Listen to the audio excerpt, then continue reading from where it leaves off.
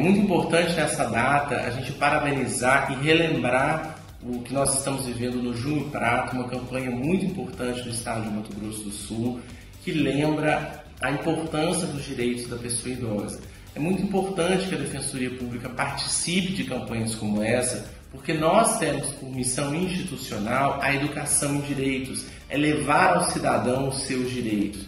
Então, campanhas como essa incentivam, dão visibilidade e incrementam essas potencialidades. A Defensoria Pública do Estado, é bom se lembrar, em especial em tempos de pandemia, está atendendo online. Então, nós estamos em todas as casas, em todos os domicílios. Caso haja alguma violação, seja na área do consumidor, na área da saúde, é, na área do transporte, em qualquer dessas e outras temáticas, basta que o idoso entre no site institucional www.defensoria.def.br, preencha um cadastro, fale resumidamente o que está acontecendo ali. Em até 48 horas, a equipe da Defensoria vai entrar em contato com você e vai saber o que, está acontecendo e pode, inclusive, ajuizar ações judiciais, é, como ações de alimentos, ações de medicamento, ações é, de medidas de proteção aos idosos.